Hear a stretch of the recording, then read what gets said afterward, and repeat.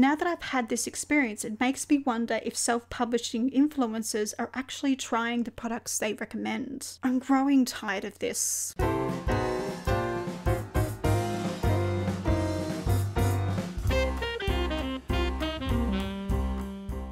Welcome to Amelia's behind the scenes author diary, an exclusive look at the behind the scenes misadventures of a 30 something mystery author. Discover how close she is to releasing her latest novel, hear exciting details about upcoming writing projects, and discover the lessons she has learned along her writing journey so you don't have to make the same mistakes. You can find the episode show notes and lots more information at authorpreneurpodcast.com forward slash podcast.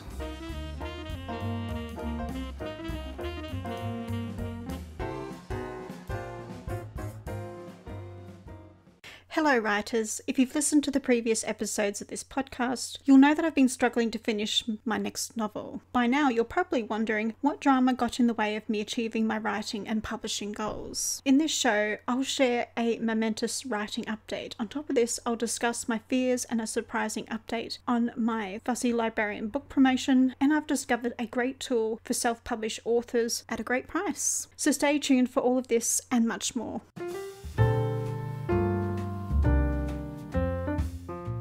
Just to let you know, this episode was recorded on Monday, the 23rd of August, so this show is primarily me looking back at July. In the same spirit as the previous episode, I finally caught up on the show's backlog. After this show, I'm back on schedule.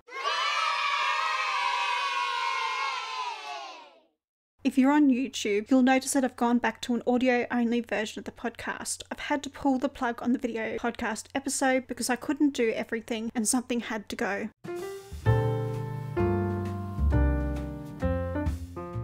Throughout this episode, I'll be referencing tools and services that I've used. If you're interested in reading the transcript or would like links to anything that I've mentioned in the show, then check out the very long blog post or edited transcript at authorpreneurpodcast.com forward slash BTS041. And if you're new to this podcast, I want to say a huge thank you for stopping by and trying out my show. To those of you who have been faithfully listening, thank you for regularly listening in and supporting me. Your support means more to me than you know.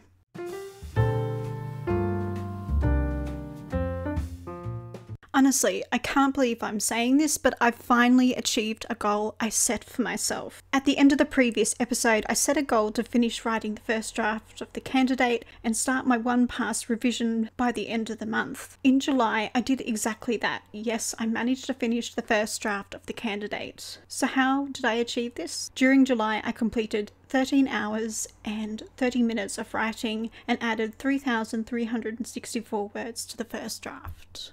Before I finished writing the candidate, I remembered to let my alpha reader know about the new chapters that were available to read in Hey Beta, and I waited for the feedback before I wrote the final four scenes. The reason behind this is I wanted to double check that I've achieved the goals I set in regards to the reader's response to everything they've learnt so far. I wanted to avoid writing my story in the wrong direction. Upon receiving the feedback, I went through the manuscript and made edits. These edits were line edits. Before I started to write the two climactic scenes in my novella, I had to research how certain drugs would affect the body and what doses would result in a fatal overdose. After finding these answers, I brainstormed scene blocking notes and wrote scene 25.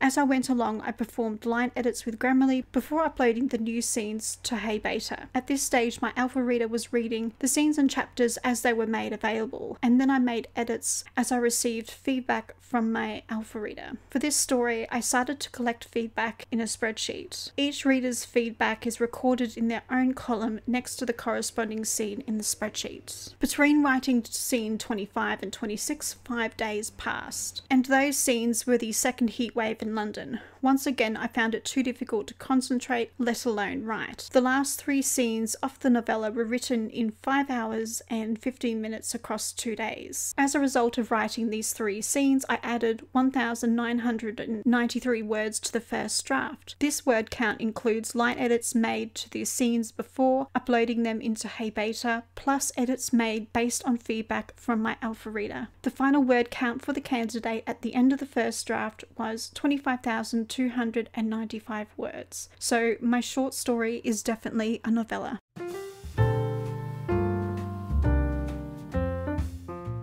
During July, I managed to complete 10 hours and 15 minutes of revisions on the candidate. At the end of the first draft, I felt confident that I had not overlooked any plot threads. Thus, I believed my plot was structurally sound and the characters' motivations were coherent. Instead of diving into my one pass revision, I decided to hire a beta reader before starting my self edits. Over on Fiverr, I contacted a new beta reader because the one I wanted to use was currently unavailable. While I waited for the beta reader to get back to me, I made edits based on the feedback from my alpha reader for the last three scenes of the story. Before submitting my manuscript to the beta reader, I listened to my computer read back my manuscript. Then I made edits based on the mistakes I picked up during these readings. By the way, for each scene, I listened to the scene several times, especially after I made changes. In July, I managed to edit the scenes in Act 1 to Act 3 and the first two scenes in Act 4. During this time, I started to set up the vellum file for the candidate. I like to export my manuscript from vellum because I can export an RTF file that I can convert to a PDF using Word. Over in Scrivener, I don't add the subtitles, which are essentially timestamps. Instead, I add these into Vellum. This creates the ticking clock feel, which is what I want my beta reader to experience. As I listened to my computer read back these scenes, I discovered and fixed a timeline issue with my story that affected four scenes. And I edited a scene and explained why the police chose not to arrest someone because in the past, I've chosen not to do stuff like this, and the readers made comments about the police investigation even though it's not a police procedural, and the police investigation is not the focus of the story. This decision prompted me to write a new scene where Anwar struggled to find a French translator with the somewhat limited police resources. Naturally, I edited this scene, then listened to the computer read it back, and made further edits. At this point, I felt mentally exhausted and gave myself the rest of the day off, and I chose not to work on the last Friday of the month for the same reason. What I should have pointed out earlier is that I didn't give myself a break between finishing the first draft and starting my revisions. This is the main reason for my mental exhaustion.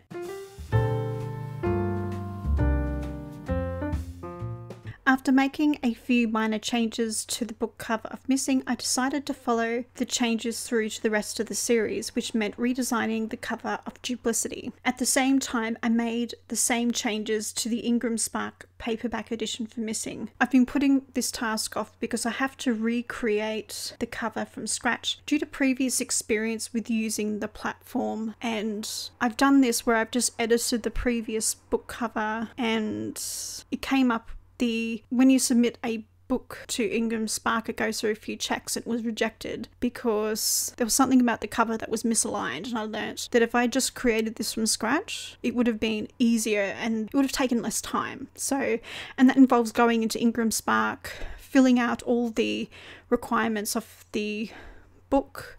They send you the file to create the book cover and it's like the template for that and that's what you really need to do every time you create a new cover for a book that exists in Ingram Spark or a new book. The interesting thing about the Ingram Spark book cover sort of template was mainly a guide for the bleeds. So when they chop the book, you know that everything's aligned perfectly and what's going to be on the book cover actually makes it on the book cover and doesn't sort of end up in the trash and your book cover looking weird. So they actually provide an ISBN barcode that you can then stick on the back portion of the cover and I really love this. I wish um, KDP did that, but they don't. They just stick it on anywhere and it would be nice if you could sort of move the to a different place because the placement of my barcode on my Ingram Spark books and on the KDP print books are slightly different. One of them's in the middle and one of them's off to the lower right hand side of the book, I think. Maybe it's the lower left. Sorry, I don't know my left from right. Yeah, don't worry, I'm not driving. The roads are safe. While uploading the new covers, I encountered a problem using the Ingram Spark promotional code that I should have had access to as a, as a part of my ALLi membership. Let's just say that I'm a bit perplexed by my dealings with ALLi If you've heard something useful in this episode that was helpful to you and you'd like to support the show, then buy me a coffee for as little as 2 US dollars at buymeacoffee.com forward slash author AD Hay. For quite some time, I've been putting off doing a fussy librarian promotion, believing they were super selective about whom they accept for promotions. And to be honest, I think I got this information from quite an old source because I think back in the day when the Kindle Gold Rush was on and everyone was publishing everything, and perhaps there weren't as many editors and other services that authors could get hold of to publish their works. I think maybe the standard of the books weren't as wasn't as great as as it is now. And I think that led them to be a little more, more fussy about the books they choose to promote to their readers, and you know, right, rightfully so. And I heard stories about them not accepting first time authors, and I've always put them in the too hard basket and never tried it. So I ended up trying it anyway. Despite my 3.5 star average rating on the Amazon US store, I was accepted for a book promotion on the 19th of July by the Fussy Librarian.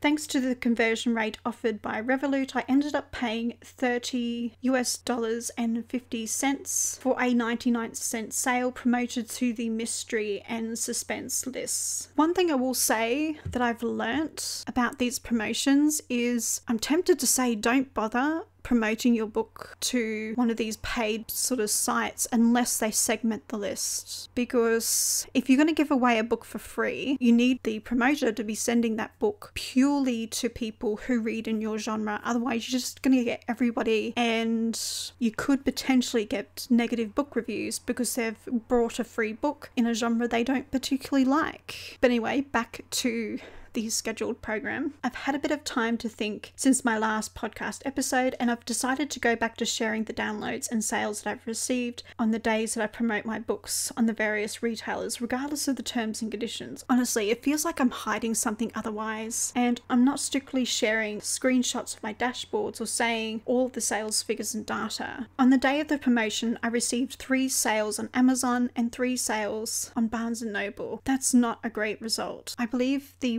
readers of this site must crave free books instead of 99 cent deals. So maybe a free promotion might have done better on the Fussy Librarian site and email lists. Or maybe my worst fear is valid. Perhaps my 3.5 star rating is putting readers off buying. There's one thing I know for certain. I wish I did a bit more research into whether a 99 cent or free promotion performs better on the Fussy Librarian. After doing said research, I've discovered, based on the evidence shared by other authors, that free performs better than 99 cents with the Fussy Librarian lists. There's a part of me that's tempted to do a free promotion with the Fussy Librarian on the same book to compare the results. I'll keep you posted as to whether I do that or not.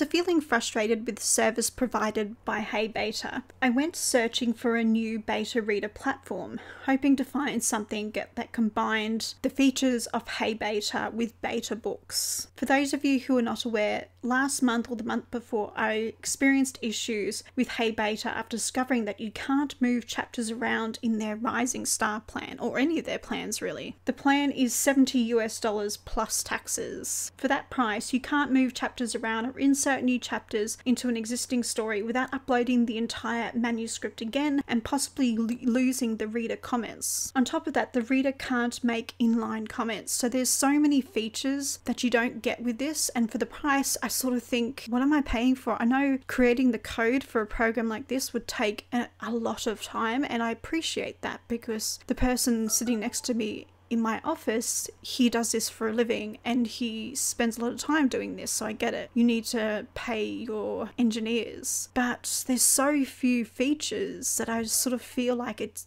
the, the price isn't justified based on my experience. So that's the bad news. Now for the good news. I've discovered a new beta reading software that provides you with the ability to move chapters around, insert questionnaires at strategic points, and have inline comments. And it looks great on mobile devices. Did I mention that you get these features with the free plan? Yeah, it's free. And this is what I don't understand about the Hey Beta Reader um, program is that they're charging you this huge fee for something you should get in like a free plan because it's got none of the bells and whistles you really need to get effective feedback from a beta reader. Before I go any further, the free plan only allows for one manuscript with three readers and one team member or author. If you're a first time author, this is good news. Unless you're a crazy person like me and have four manuscripts on the go, you don't need to upgrade quickly. And by the way, I have four manuscripts under two pen names, so I couldn't really use the free plan with this. I would have to upgrade. You get time to try out the service properly before upgrading, which is great news because as a first time author, you're not made of money. There's no creepy 14 day trial because 14 days isn't enough time to know whether you want to use a product like this because it's beta reading because you're because people are beta reading your book and they're providing feedback. And if you're doing it in real time where you're uploading chapter by chapter 14 days isn't enough to know when whether you like the product or the product is going to work for you. So what's the name of this service you ask? It's called betareader.io what bothers me about products like hey beta is the service came recommended with a discount by a well-known podcast in the self-publishing space. Now that I've had this experience, it makes me wonder if self publishing influencers are actually trying the products they recommend. I'm growing tired of this. My feelings around practices like this drives me to be honest about the services I try, no matter how I feel, either positive or negative. It bothers me when I hear other podcasters say that they won't share a negative review or experience about a product because they don't want to burn bridges. But what happened to being honest and saying saying this didn't work for me for these reasons. What's so bad about that? In light of this, I'm going to create a comparison guide for these three beta reading software platforms after I've had a chance to new to use this new service for a while. I'll let you know in a future episode of the podcast when this blog post is published. And it will be a, couple of months away because I don't want to try it for a week and then create the blog post because it's not fair. I've used Hey Beta and beta books for quite a while, and I've got a really good idea of what it's actually like to use these with real readers. So I want to do the same thing with betareader.io and then let you know. And I'm going to try it with on the free plan, like one book, one author name, and that's it. I won't rate it on the paid plan because not everyone will can afford to use these paid plans, and some of them are just priced far too high for what you get. But anyway, rant over.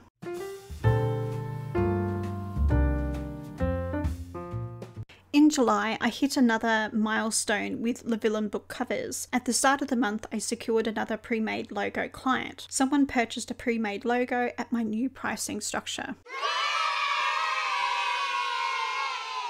And I also designed a new trio of cozy mystery pre made covers and a romantic comedy book cover. Once again, I tried to set up a store on Facebook. Naturally, they rejected my store for mysterious reasons and offered no explanation even after I asked. I'm tired of playing the Facebook game. At least tell me what I've done wrong so I can fix it. Isn't this how customer service is supposed to work? But back to my Le book covers milestone. In July, I had my first pre made book cover client. Over on Facebook, in a book cover marketplace group, I sold a set of three library and cat themed cozy mystery book covers. I'm officially a book cover designer and not a book cover designer dabbler, if that's a thing.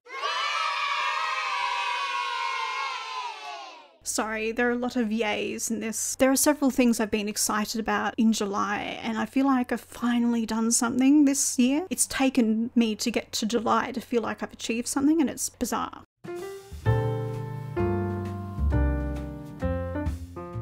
So that's all of the tasks I completed in terms of writing, book marketing, and email marketing. In August, I want to finish my one pass revision of the candidate and be ready to submit the novella to my editor. The next episode of the podcast will be another diary episode where I will continue to discuss my writing and book marketing endeavors. If you have any questions or have tips on book marketing that you'd love to share with me, please share your thoughts in the comments section below. Thank you for listening and happy reading and writing, everybody.